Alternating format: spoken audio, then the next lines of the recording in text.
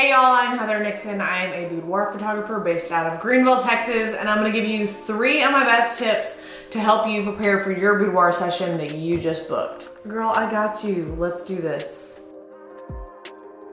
First tip, prepare to arrive your shoot with a clean, dry, moisturized face and clean, dry hair. We don't wanna show up this theory, this theory of arriving with dirty hair because you think it creates more volume is totally wrong. The last thing you wanna do is, is have greasy ass hair in your photos. Wash your hair, dry your hair. That way the hairstylist that's gonna be there for your session is gonna be able to style your hair and put product in it and it's gonna look luxurious and clean and just beautiful. Next thing is of course that face, which we wanna, you know, wash that morning of moisturize so that when we get here and your makeup artist is here doing your makeup, she can apply that makeup and not feel like it's just soaking right into your skin because your skin is so dry. So moisturizer is super good. Clean dry hair, wash and moisturize that face.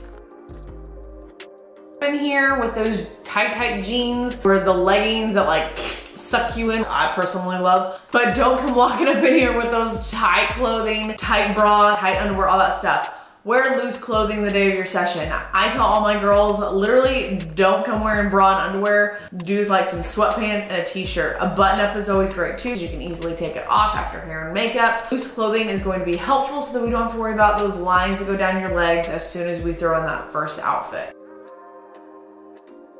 And then my last tip, which I think is so, so important, is getting those nails done. Fingernails, toenails, all of it not just for the shoot, but also it's a day of pampering for you. Take that day for yourself, go get those nails done, and just enjoy a day at the spa for those nails. Do neutral colors if that's something you prefer. You can go big and long if that's something you wanna do too. I always tell my girls to keep it simple. Designs are great, but for a boudoir session, you just wanna keep it simple. I like to do multiple colors on my nails, but for like a boudoir session, I would just do a, solid color on all of my nails. All right, that's all the tips and tricks I got today. Leave your questions in the comments so that I can come back to them and make some more videos with all y'all's questions that you got about a boudoir session and what all goes into it. Don't forget to follow me on Instagram, Facebook, and TikTok because I'm on all three, but I'm on the YouTube train now.